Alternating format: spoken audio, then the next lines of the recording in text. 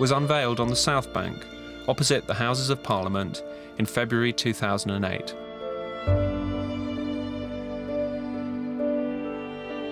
Being a British artist uh, working in London, uh, I am extraordinarily privileged to have such a wonderful location, you know, such a prominent uh, location being Queen's Walk. Having the sculpture next to the river means that there's a lot of space to play in. You don't get uh, this space anywhere else in London. I think that the light of the river helps or adds to the, to the movement that is conveyed.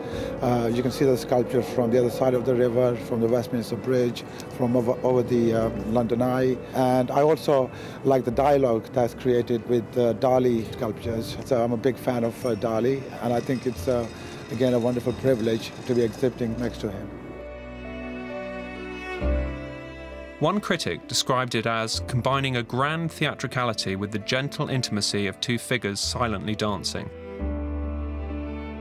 The dance is a vibrant representation of two bodies in motion, caught in a passing step Two anonymous figures are depicted through the movement of their clothes to show a graceful movement brought to completion. Reminiscent of the depiction of movement in futurist sculpture, particularly the work of Umberto Boccioni, the dance presents a sculptural image of dynamism and rhythmic balance.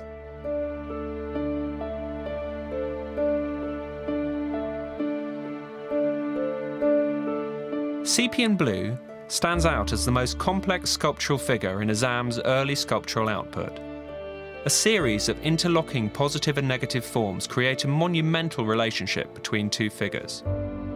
Decorative elements suggest an architectural setting combined with hieratic gestures and body parts that look back to the representation of the human form in 20th century painting.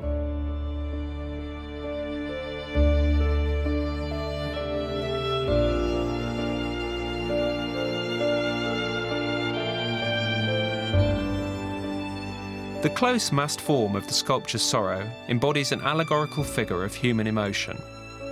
A hooded figure huddles, the abstract surface enhancing the feeling of protectiveness and inner strength. The form suggests perhaps a female figure and a sense of maternal fortitude.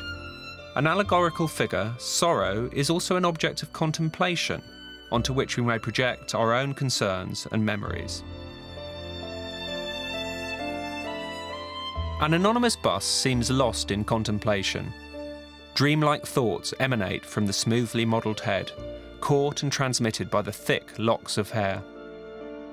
The features are both sharp, reminiscent of Art Deco sculpture, and blurred in a way to suggest movement or perhaps even a type of blindness. Blue's Havana is the most directly representational, but is also the most intriguing of Azam's sculptures.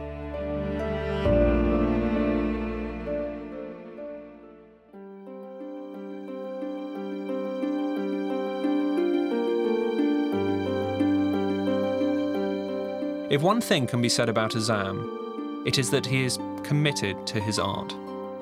Barely two years after returning to painting, a second exhibition of a new extensive sequence of works titled Anatomica opened at the County Hall Gallery before touring to New York. Here the artist is really hitting his stride.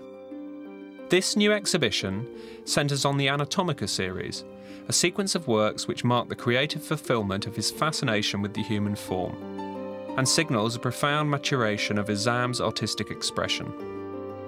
Although more contemplative in atmosphere than Azam's earlier paintings, the Anatomica series are nonetheless imprinted with Azam's stylistic signature, which is largely defined by abstract representation of the human form.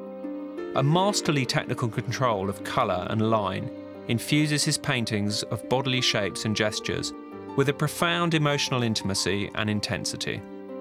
The sensuality, fragility, violence, and mystery of human experience are powerfully conveyed by Azam's very painterly concern with formal sophistication.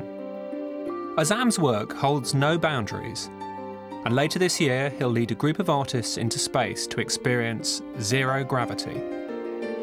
This is an incredible project that provides a unique experience in which artists can explore their creativity, a real artistic leap into the unknown. It's a tremendous opportunity to push the boundaries of artistic practice. Azam is currently undertaking a selection of important global commissions. Each of these will convey the underlying philosophy of his work democratisation, humanity, and expression.